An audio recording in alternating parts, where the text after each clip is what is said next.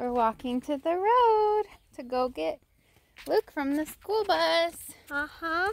And Panda's barking in the background because he wants to walk up to the road too, but it's not safe for him. So we're teaching him boundary training right now. We have um, some like flags out on the fences and just trying to teach him to stay on our property because he did run over to the the um, neighbor's house a couple times.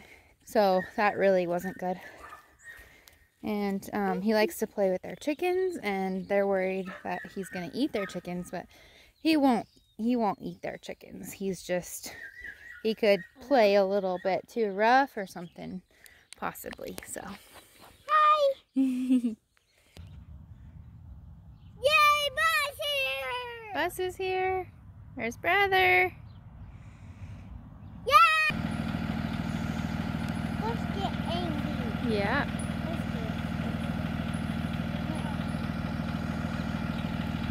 Look here.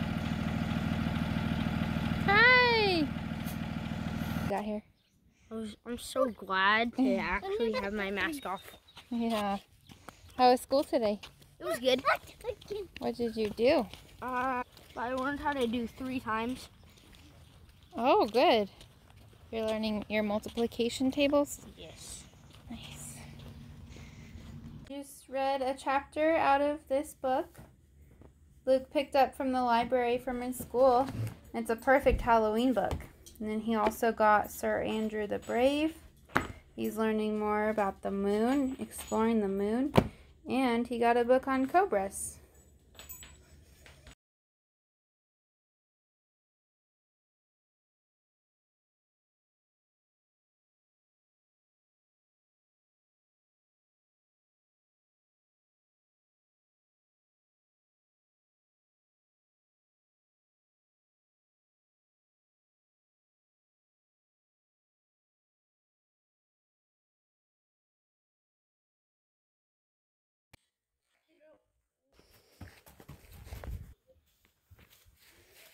I surprised ah! Luke by looking like this.